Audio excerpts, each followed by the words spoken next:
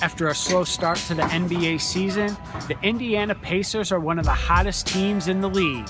The Pacers are right behind the Cleveland Cavaliers in the Eastern Conference standings, and Paul George has thrown his name into the early discussion for MVP with an outstanding start to the season. George is averaging 27 points, 8 rebounds, and he's shooting better than 45% on three pointers and Pacers coach Frank Vogel has the Pacers playing defense the way he wants them to. Indiana is a top five defensive team right now, and they are doing it with a smaller lineup.